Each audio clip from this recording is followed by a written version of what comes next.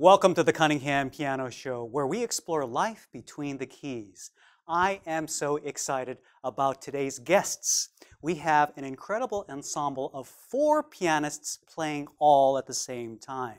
Please welcome to the show the two by fours.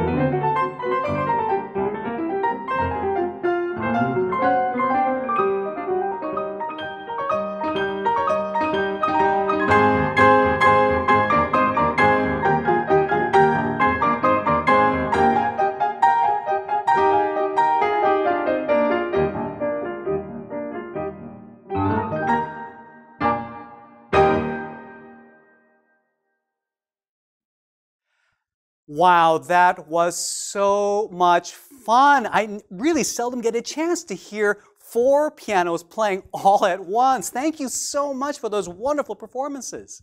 Thank, Thank you for you. having us. So tell me, Bruce, how did you guys get together? How did you start this wonderful idea to play all at the same time? Um, 10 years ago, about uh, when I retired from teaching public school, um, I had been in a piano ensemble when I first started teaching and enjoyed it. So I knew I'd have a little more time on my hands when I retired. So I knew John because he taught in my district, and I knew Joan because she taught in a neighboring district. John and uh, Joan and I also went to the same university as piano majors. And fortunately for us, uh, Joan knew Robin, who was in the area, as an accompanist and pianist, and we got together and things just clicked, and here we are today. It's really all in who you know, isn't it? Yes. Oh, fantastic. So tell me, uh, how do you select or how do you even find the pieces that you get a chance to perform? It's, you know, it's- it's one thing to find solo piano works. But how in the world do you find works for four pianos? Well, we search the internet, to watch different uh, performers, and we select transcriptions of symphonies, operas, ballet, music, and other dance forms. We also go to uh, films and ballads from films, uh, ragtime, jazz, and patriotic numbers. And I think it's really interesting that you also mentioned the fact that you st- sometimes start your research by actually watching videos of other, and believe it or not, there are several other multi-piano groups out there, aren't, aren't there? Yes, there are. And then we choose, I, we do a lot of research of that and select the music and order it and practice and then see if we'd like to use it or not. Can you give us a rough idea as to how many pieces you guys are now working on or have active in your repertoire? Well, right now we're working on about six or seven multi piano works, but uh, we've had probably about 30 pieces. Wow, that's fantastic.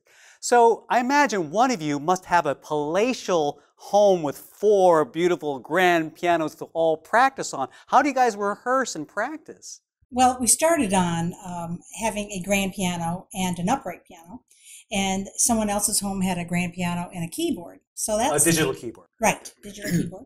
So uh, we uh, played on two instruments for a long time. Uh, it would depend on the venue that we were playing at. If they might have just two upright pianos, we would play on those.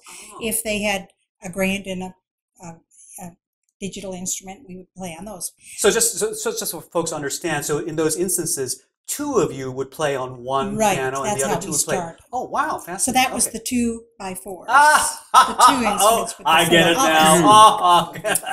but we graduated to playing actually four instruments when one of the pieces that we were going to play was written specifically for four instruments. So we said, what are we going to do? So we brought in two extra keyboards to go with the two pianos. And from there, we decided maybe we'll just stay on this four idea. Um, up until that point, our highlight was being at uh, one of the local universities. We got to play on two grand pianos that were matching pianos, and we thought that was the ultimate. But here at Cunningham, we finally were able to have four grand pianos at the same time, and we're very appreciative of that idea. And this is actually the first time that you have all performed on four grand pianos simultaneously. What was it like? Wonderful. Oh, yeah. Very thrilling. We'd like one, to one do to go now. home with me. We're going to get to these pianos in just a second. So I'm wondering, um, you shared a little bit about the beginnings. I'm, I'm wondering if you could also share a bit about how you rehearse, how you put these things together. Well, here we have uh, many rehearsals over an extended period of time to uh, work on developing our program, the uh, logistics of playing on multiple instruments, and the many musical details in each piece. Uh, then we need to coordinate our schedules. We're all retired, but quite busy with uh, various musical endeavors. Uh, some of us give private lessons, some are church musicians, some are course directors, and some are accompanists. Um, the most enjoyable part about this collaboration is our our wonderful working relationship and our shared passion for music. And it looks like you guys are having way Yes. too much fun. And we are also humbled and blessed by our many opportunities to share our musical gifts. Just a question how often are you able to rehearse together? We're usually about once a month. Once a Yeah. month, um, And one of the at things, least six months leading up one to of the things uh, that people don't yeah. realize uh, is that it takes us about a year to get an entire program uh, from the time we start to practice individually and then we start to put it together. So then it's a year because lots of people will say, "When is your next program?" And then you have to say next year because we start. and because of all the other things we do and also as we lead up to those uh, concerts we need more frequent practices and practicing in the venue where we're going to be. You know, normally in our show, we ask our guests to select from a range of pianos. But to be honest, this was one of the most challenging episodes to shoot. Having four pianos of roughly the same size, all the same, you know, prepared and tuned to match each other as closely as possible, it's no easy task. So we were able to round up a Mason and Hamlin. We were able to round up a, a Yamaha, actually a Disklavier, but a C2X Disklavier. We also had two Estonia pianos. I wanted to ask you, uh, what did you guys think of the pianos that you got to play on? Well, I played the Yamaha, and uh, what I enjoyed most about it was I felt like I could really get into the action of the keys. That when I was playing forte, I felt like I could really get into that, and the same when I was playing, you know, softer. That it was an easy, just easy to do, transitioning from pianos I'm used to playing before. And Joan, you were on one of the Estonias. What did you think of that piano? This was the very first time I've ever played in Estonia. Um, and you know, it is difficult for pianists to have to play someone else's instrument. You always are at the mercy of whatever company has made that particular piano. But I enjoyed the Estonia. Um, it speaks very clearly and has a nice bright sound. So I was very impressed with that today. And John, you actually had a Mason and Hamlin A. Tell us a little bit about what you thought of this. I really enjoyed playing the Mason and Hamlin. I haven't played one for a long time. And I enjoyed it because the action is just great for me. Mm-hmm. And it, it's very responsive to me, and I like the tone quality of the instrument too. And Robin, I don't know how this came out as a coincidence, but you were playing another Estonia, kind of the twin sister to Joan's. What did you think of your Estonia? Well, that was the first time I played on an Estonia piano, and I very much enjoyed that, um, especially the uh, the singing tone. Uh, to me, that's the ultimate to to be able to use the fingers as our voice to sing. Well, everybody, Bruce, Joan, John, and, and Robin, thank you so much for being on the show and sharing your amazing arrangements and ensemble and musicianship, and most of all, your friendship with all of us. Thank you so much. You're Our welcome. pleasure. It was our Yeah, pleasure. Thank you. Well, thanks again for watching. If you enjoyed this, be sure to subscribe so that we can let you know whenever we have new episodes. For the Cunningham Piano Show, I'm Hugh Sung, and we'll see you next time.